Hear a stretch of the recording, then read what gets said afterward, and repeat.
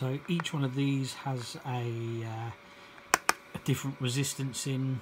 whether it's a, a 5k, 10k, 30k. Uh, this one, as an example, is is just there's no resistance in it. It's just a a short circuit, basically.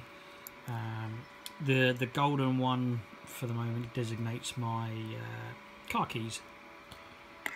so it will recognise which which port you put it in and it will, and obviously which jack it is so it knows that's the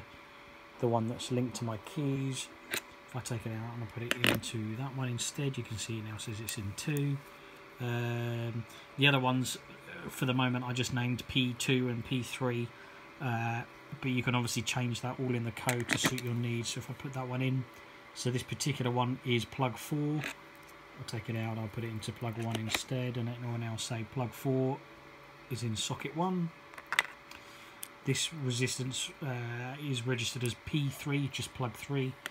so I'll put that into number 4 and it will just say P3 in 4 and then any, any other one that has a uh, a short to ground or is not a pre-programmed resistance. So if this is 10 20 30 40 for example's sake if you then use the 50k or straight short it just says NA in 3 not applicable because it's just a standard plug